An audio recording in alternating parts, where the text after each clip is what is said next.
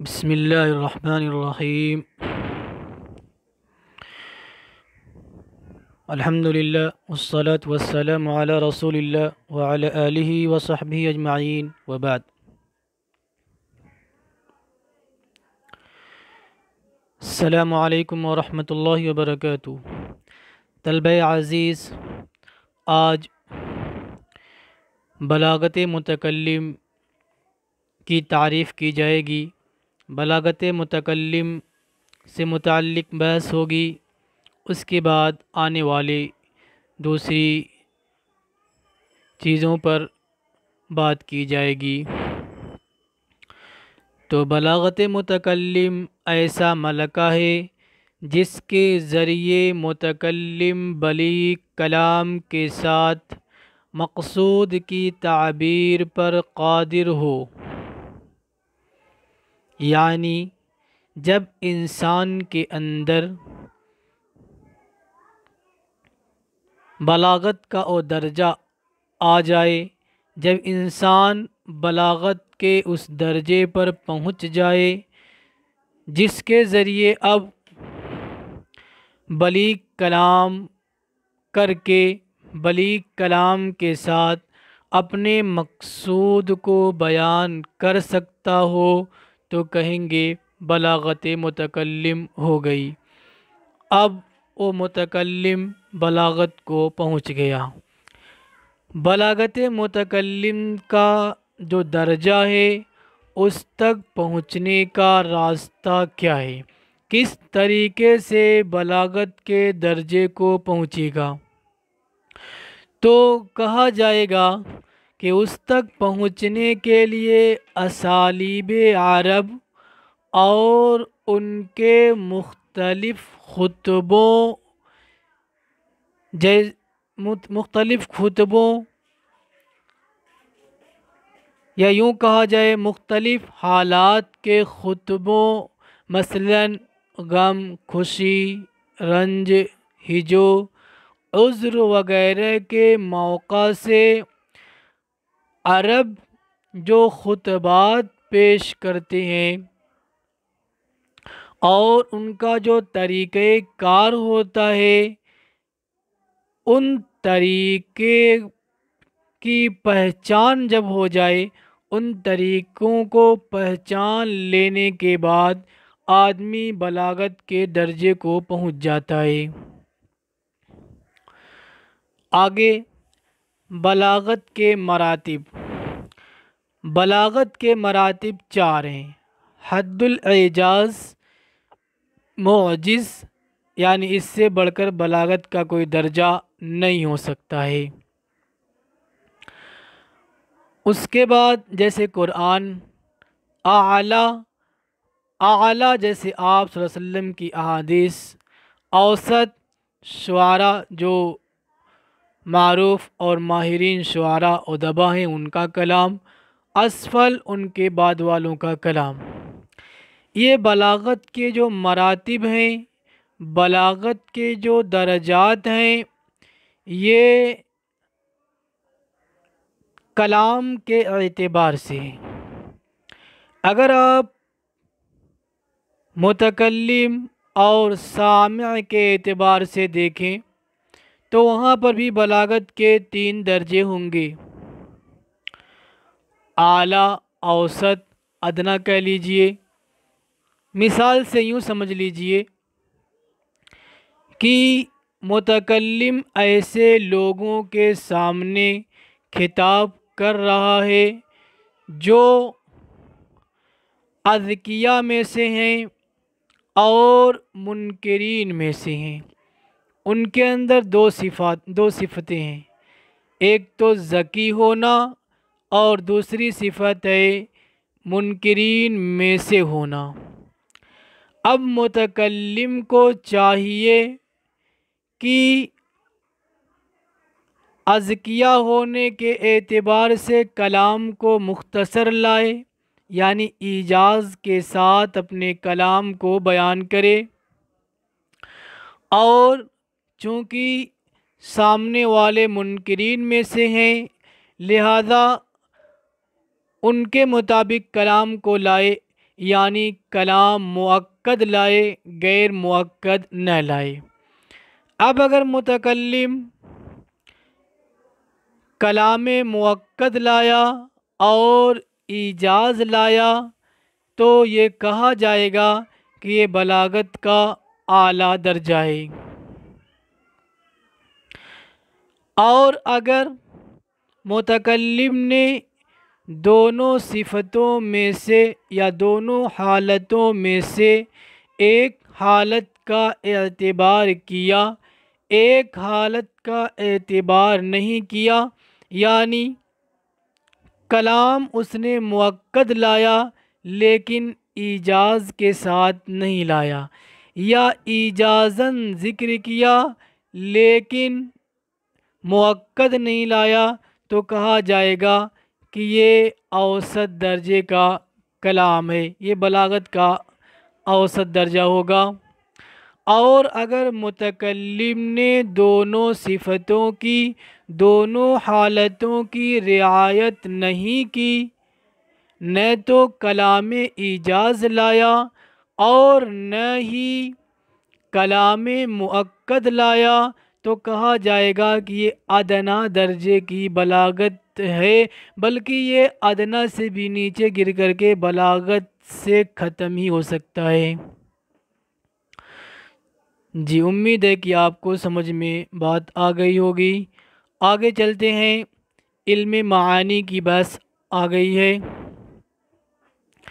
तो किताब के शुरू में मबादियात के वक्त आपको बताया गया था कि फसात बलागत तीन पर मुश्तमिल है। इल्म मानी, इल्म बयान और इल्म बदी अब उसी की शुरुआत करना चाहते हैं। तो फसात बलागत तीन पर मुश्तमिल होते हैं। इल्म मानी, इल्म बयान, इल्म बदी। आइए आगे देखते हैं। इल्म मानी, ओ इल्म फ़न है जिसमें अरबी अल्फाज के उन अहवाल से बहस की जाए, जिनके ज़रिए अल्फाज मुक्तदा हाल के मुताबिक हों। यानी जिन के ज़रिए अरबी अल्फाज को मुख्तज़ हाल के मुताबिक बनाया जाए। ओ इल्म को, उस इल्म को इल्म मानी कहा जाएगा। आसान लफ्ज़ों में आप यूँ कह सकते हैं, ऐसे असूल कवायद के जानने का नाम है, जिनके ज़रिए कलाम को मुख्तज़ हाल के मुताबिक बनाया जाए। बात समझ में आ गई होगी। मसलन आगे आपको जब इल्म मानी की जो आठ किस्में हैं, उसको बयान करेंगे तो आपको और आपके सामने बात और वाज हो जाएगी। तो जिन कवायद, जिन असूल के ज़रिए कलाम को मुख्तज़ हाल के मुताबिक बनाया जाता है उन असूल कवायद को जान, के जानने को इल्म मानी कहते हैं। अब थोड़ी सी दूसरी चीज़ें भी यहाँ देख, देखते जाएँ। इस इल्म, ये चूँकि एक अलग इल्म है, इल्म बदी, इल्म बयान एक अलग इल्म है तो हर इल्म का मौजू भी अलग अलग होता है। लिहाजा इस इल्म का मौजू क्या होगा? तो कहेंगे कि इस इल्म का मौजू अरबी लफ्ज़ है, अरबी लफ्ज़ है। कैसे? उसके दूसरे माना, दूसरे मानी का फ़ायदा देने के एतबार से, जो कि ओ मुतकलम का मकसूद असली होता है। कलाम को उन लताइफ से मुज़यन करके जिनके ज़रिए कलाम को मुख्तज़ हाल के मुताबिक बनाया जाए। शायद इबारत लंबी हो गई होगी, आपको समझ में नहीं आया होगा।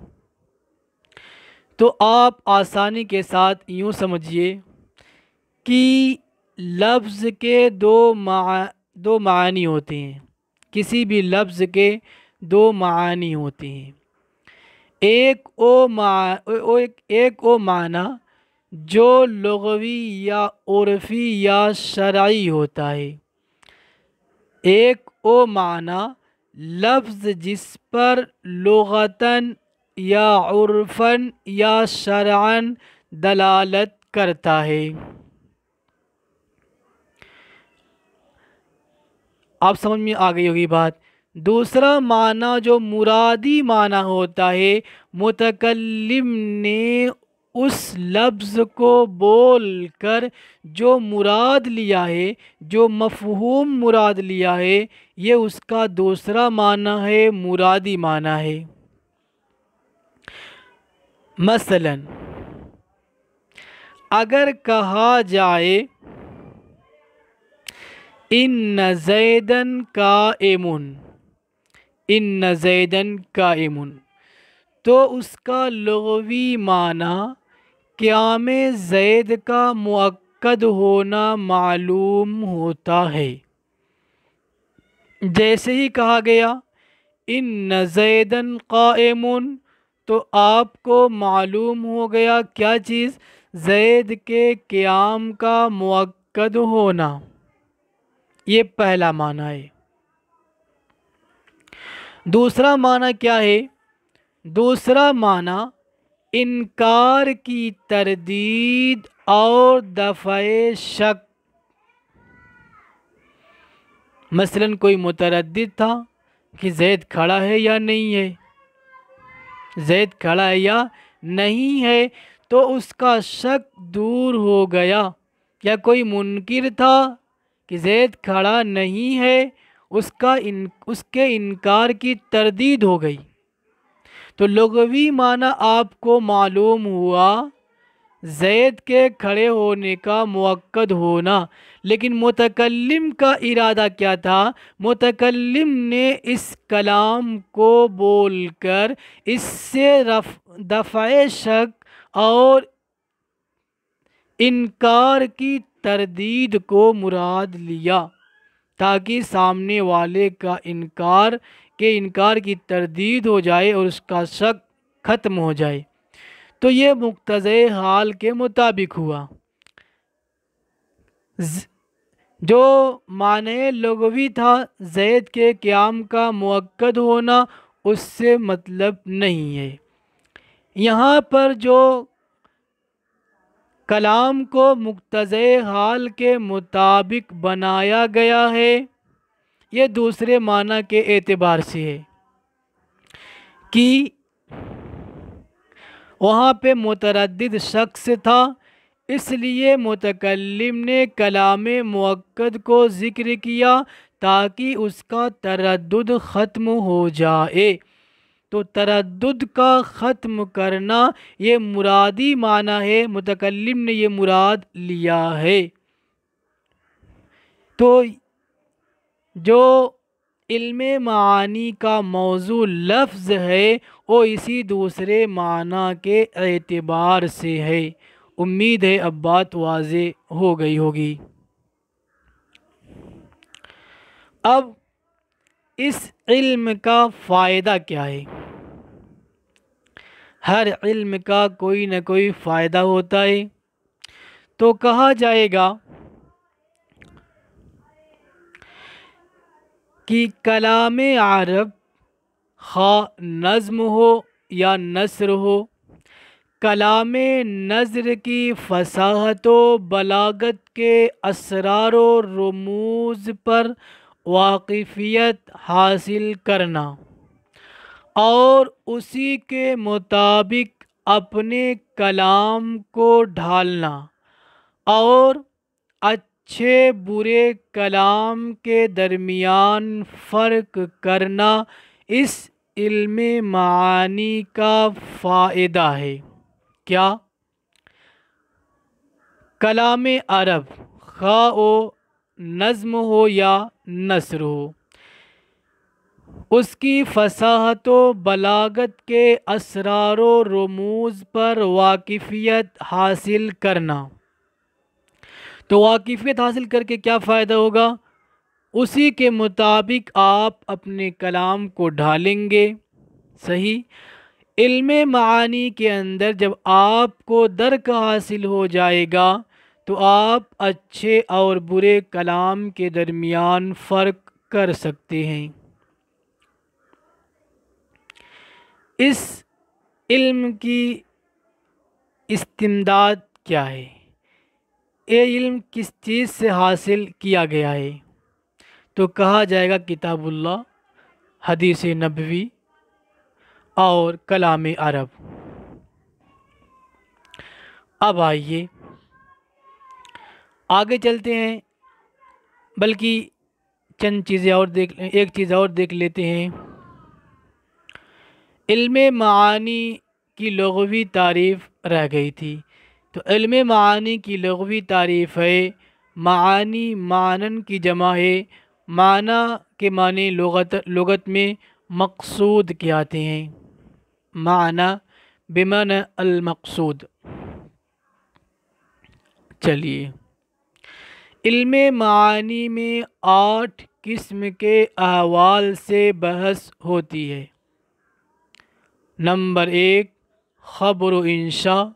नंबर दो, ज़िक्र हज़फ नंबर तीन, तकदीम तख़ीर।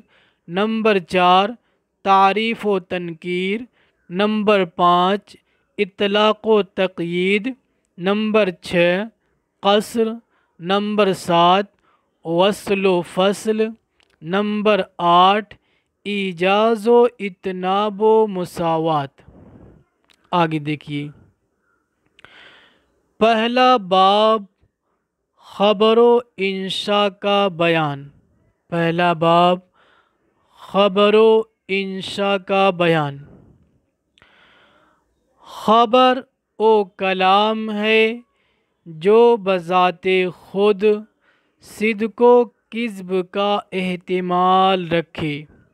ख़बर ओ कलाम है जो बज़ात ख़ुद सिद को किस्ब का अहतमाल रखे।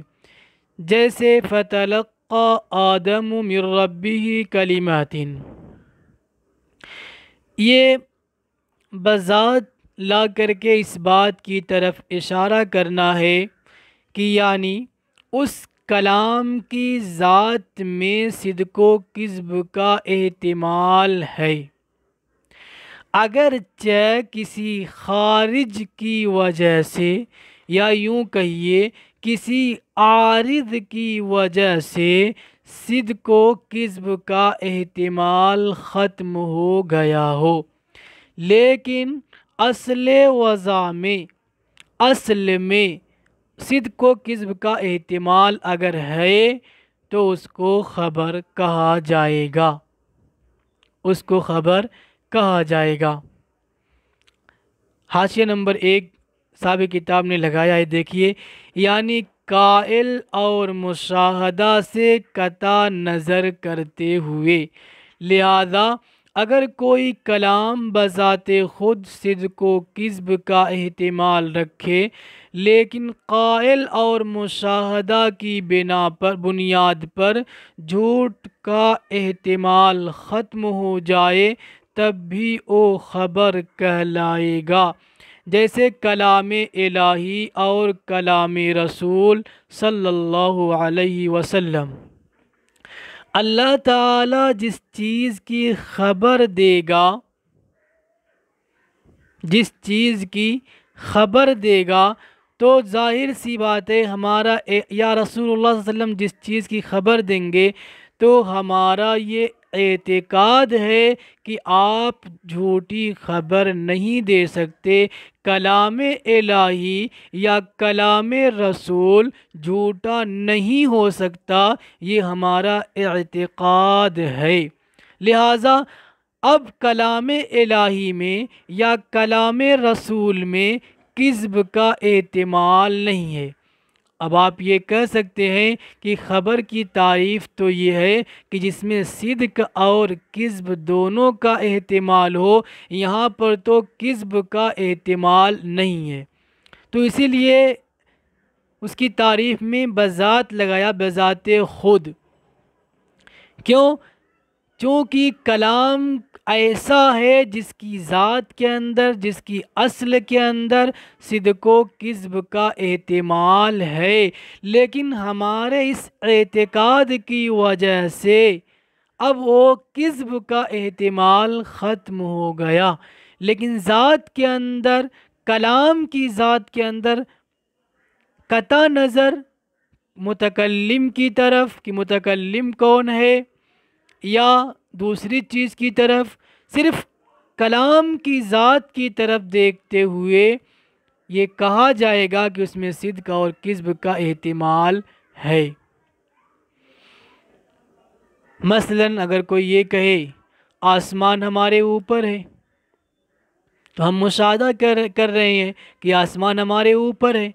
तो वो ख़बर दे रहा है।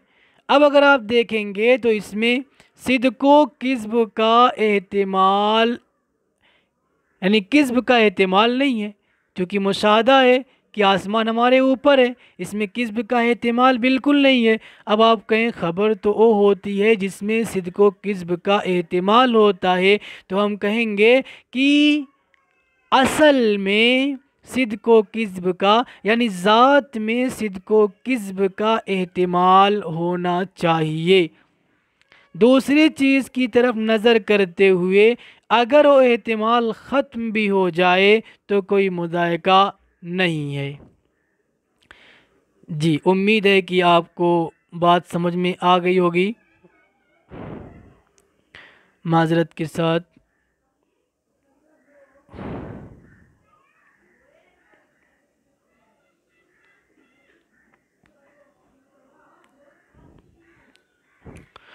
अब आगे देखिए। फ़तलक आदम रबी कलिमत। आदम सलाम ने अपने रब से कलिमात या चंद कलिमात को सीखा। तो ये ख़बर दी जा रही है, इस खबर के अंदर, इस कलाम के अंदर उसकी ज़ात में सिद्को किस्ब का एहतमाल है। सिद्क और किस्ब आगे आपको बताया जाएगा। इंशा व कलाम है।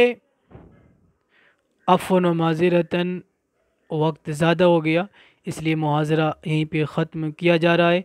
इन अगले मुहाजरे में इंशा की तारीफ़ की जाएगी। अल्लाम वरहमल